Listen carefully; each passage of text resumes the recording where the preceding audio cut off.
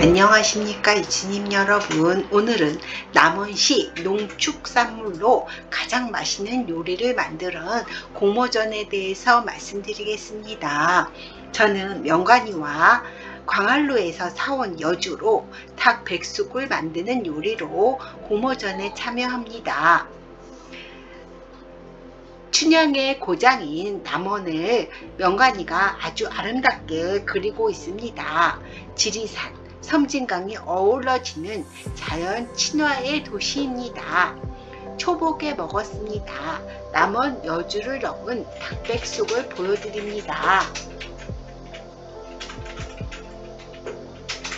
재료로는 닭 1개, 여주 30g, 삼계탕 재료와 파와 마늘이 필요합니다. 여주는 남원에서 산 여주입니다. 삼계닭과 파를 준비했습니다. 초복을 맞이하여 원기를 회복시켜 주었습니다. 재료들을 아들이 깨끗하게 준비했습니다.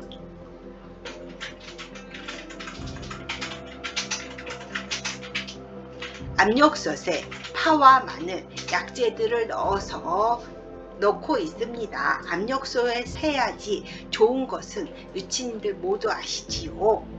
남원에서 산 여주가 색다른 맛을 내면서 완성되었습니다. 아들과 광활로로 여행을 떠났습니다. 지리산과 섬진강이 어우러지는 남원은 자연 친화적인 도시입니다. 암행어사 출도라는 곳이 마패의 상징물이 보이고 있습니다. 혼줄 나는 변사또라는 스토리텔링이 되어 있는 조형물들이 보입니다. 아름다운 꽃에서 포즈를 취했습니다. 노란색 수선화가 아주 아름답습니다. 연못에 비친 광활루가 아주 고즈넉하게 보입니다. 연못의 물고기에 열심히 미끼를 주고 있습니다. 강화루라는 현판이 보이시지요? 바람이 나뭇가지를 흔들어 흔들고 가고 있습니다. 삼신산의 모습입니다. 신선이 살고 있다는 삼신산을 섬으로 만들어 조성했습니다. 연못 사이에 다리가 놓여 있습니다.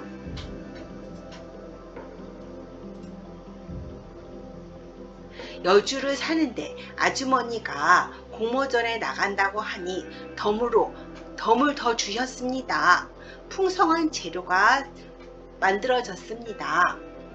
초복을 맞이하여 삼계닭과 파도 샀습니다. 지방이 많은 부분을 다 제거하고 깨끗하게 씻어서 준비했습니다. 3개 자료로 국물 재료도 풍성하게 준비했습니다. 3개 자료에는 많은 안에 속 재료가 있었습니다. 마늘과 파도 깨끗하게 씻어서 준비했습니다. 압력솥에 대추도 넣고 파와 마늘과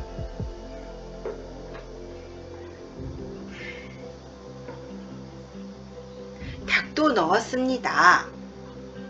국물을 위한 속재료도 넣고 음식의 하이라이트인 여주도 잘 씻어 넣었습니다. 압력솥으로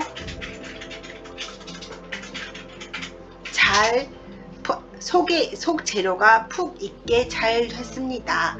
아주 색다른 맛인 닭 백숙이 완성되었습니다. 아들이 맛있게 먹었습니다. 여러분들도 남원의 재료로 음식을 만들어 같이 공모해 보시기 바랍니다.